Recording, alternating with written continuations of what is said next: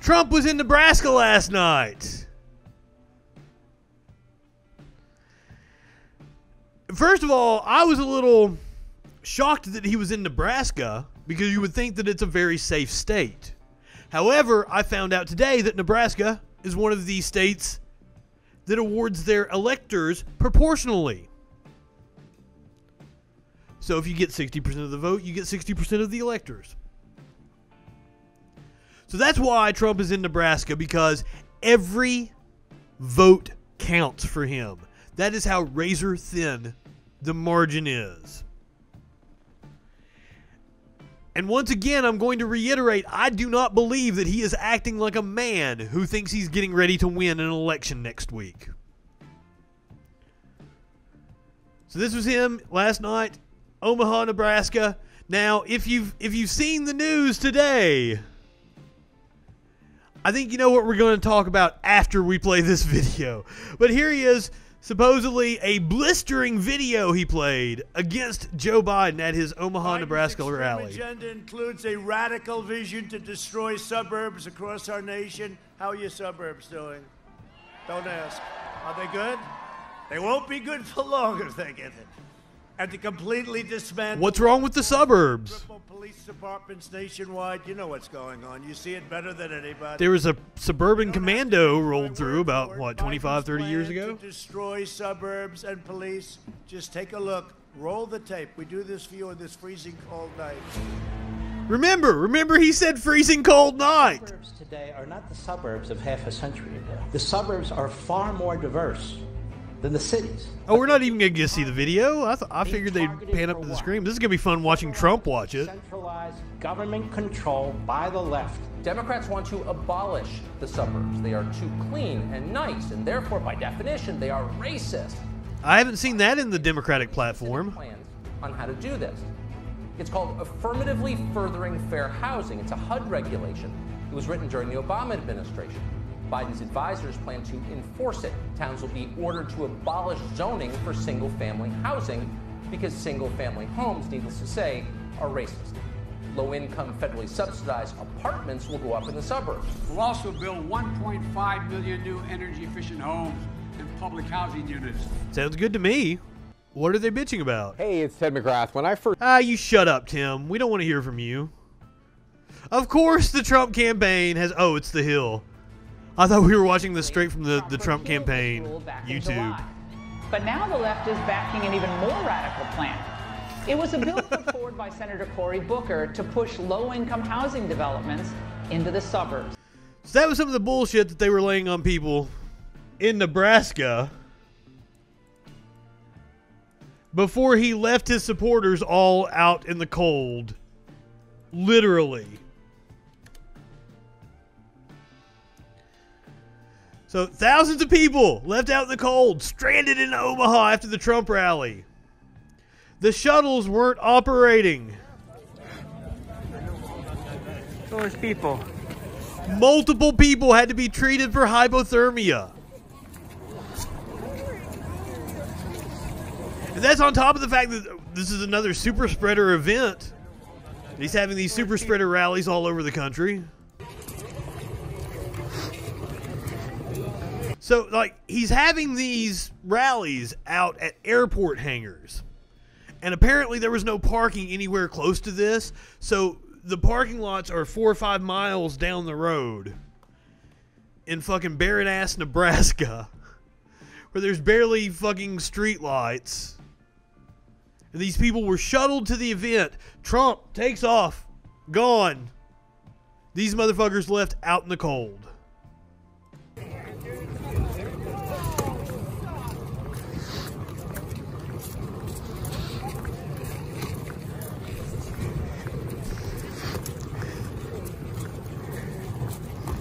That's what you get for going to the con man's rally.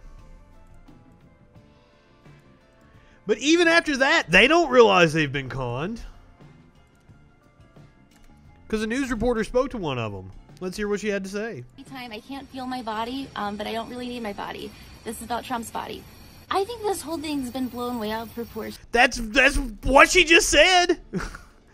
She'll go out there and freeze to death for Trump. Feel my body, um, but I don't really need my body. This is about Trump's body.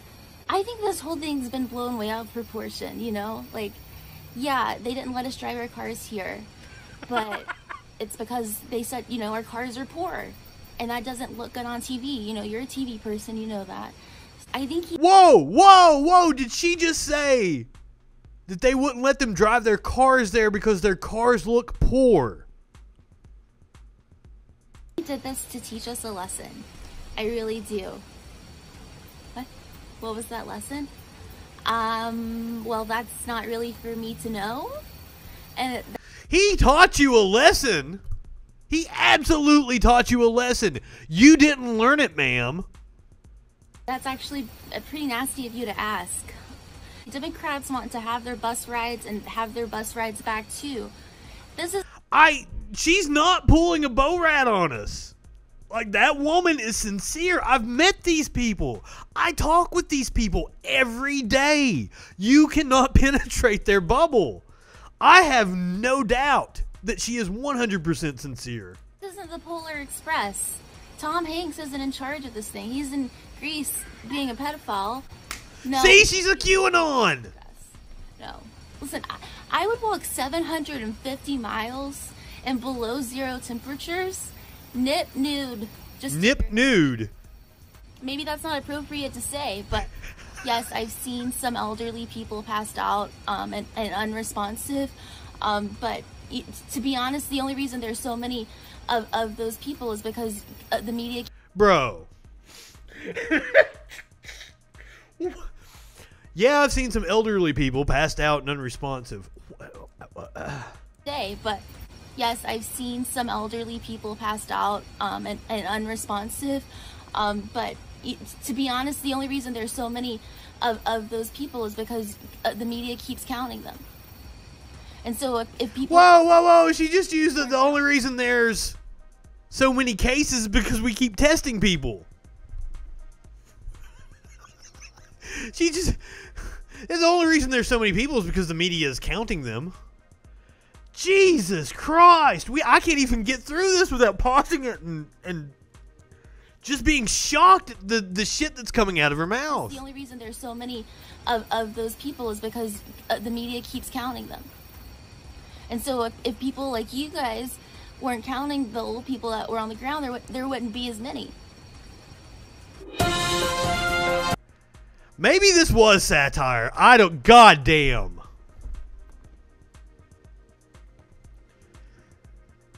Let's hope this was satire.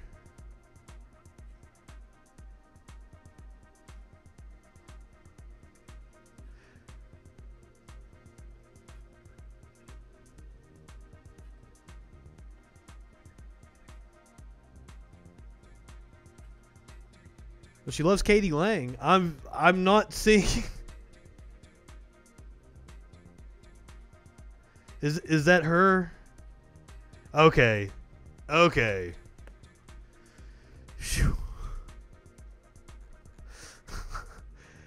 Holy shit! Thank God this is satire.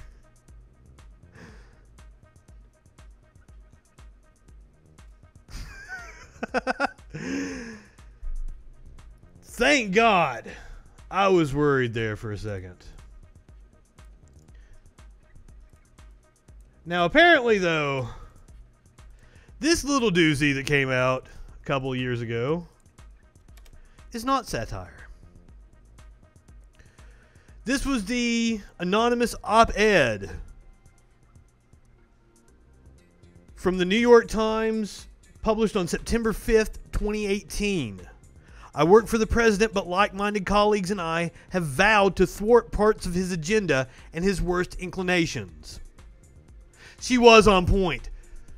She fucking James Randied me.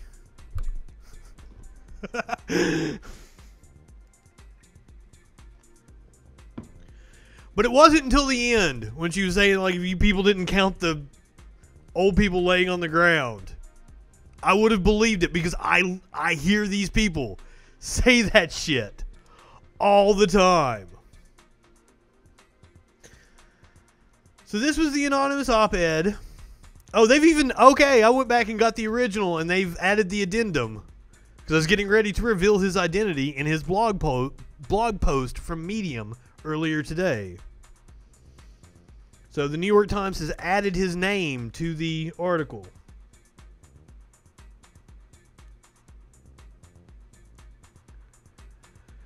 So I guess we all read this when it came out. So let's read a statement from earlier today. His name was Miles Taylor.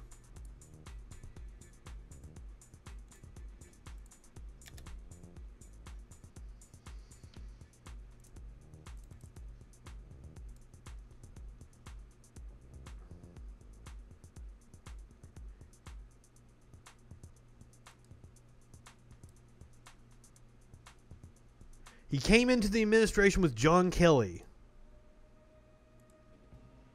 He worked in the Department of Homeland Security. Saw Donald Trump prove he's a man without character. I mean, who who didn't know that already?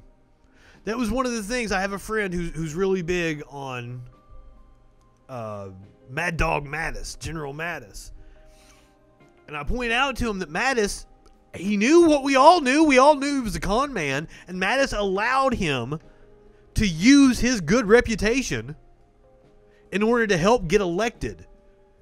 So that should really make you lose respect for General Mattis if you had any.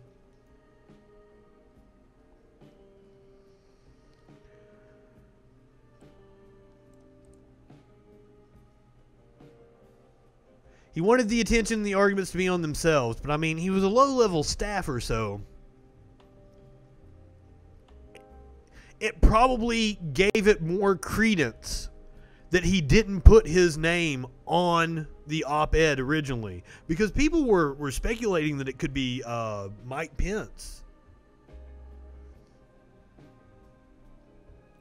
Some people were analyzing some of the words they used there was some obscure word that Pence had used in a speech at some point in time, and that it was also used in the op ed.